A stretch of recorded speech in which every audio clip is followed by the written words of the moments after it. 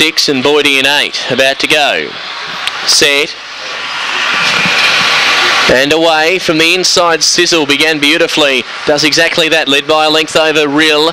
And going up to third, Boydie. Compact field, and Burnmar Rockstar's going to punch up on the rail and claim them all. Burnmar Rockstar off the back, led by two over Boydie. The inside Sizzle's a length and a half away, and Real back to last as they turn and go. Burnmar Rockstar swung the bend in front. Boydie's about two lengths away, clear over Sizzle.